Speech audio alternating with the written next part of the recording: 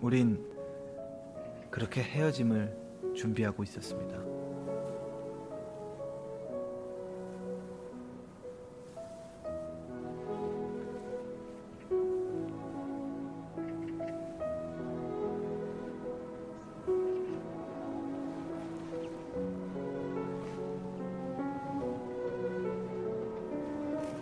견우야.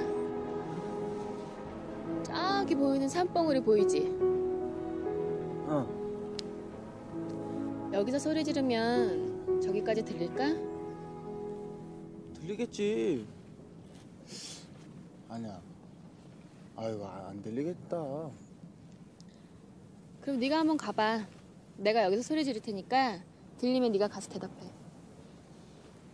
아, 아 지금 나 나보고 저기까지 가보라고? 응.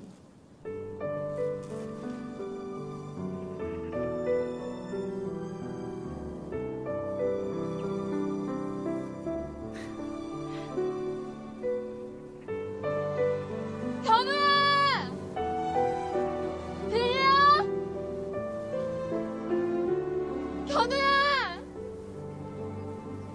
미안해. 나 정말 어쩔 수가 없나 봐. 견우야! 미안해. 미안해. 나도 어쩔 수 없나 봐.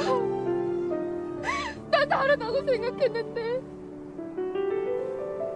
나도 어쩔 수 없는 여잔가 봐.